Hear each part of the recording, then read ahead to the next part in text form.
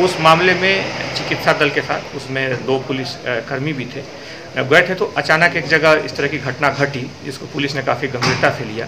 तत्काल उसमें प्रकरण पंजीबद्ध करके, जो उसके मुख्य आरोपी उसमें जो चार लोग थे जिनका इस घटना के पीछे मुख्य रोल था, उन चारों लोगों को पुलिस ने गिरफ़्तार भी कर लिया है। इसमें कुछ अन्य लोगों को भी वीडियो फुटेज के माध्यम से पहचान की जा रही है और उनके विरुद्ध भी कार्रवाई की जाएगी मुख्यतः इसमें सरकारी कर्मचारी के विरुद्ध जो धाराएँ होती हैं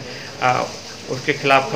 तीन सौ तिरपन, एक सौ छियासी, एक सौ अट्ठासी जैसी जो धाराएँ होती हैं आईपीसी की, उनके अंतर्गत इसमें कार्रवाई की गई इसमें कुल आठ दस लोगों के विरुद्ध इसमें कार्रवाई की गई है, जिसमें से मुख्य जो थे, तीन चार लोग जो उससे जुड़े थे, उनके वीडियो फुटेज के आधार पर पहचान की गई और उन चारों लोगों को तत्काल गिरफ़्तार भी कर लिया गया। अभी उसमें जुड़े जो अन्य लोगों की पहचान करके उसमें अन्य लोगों के विरुद्ध भी कार्रवाई की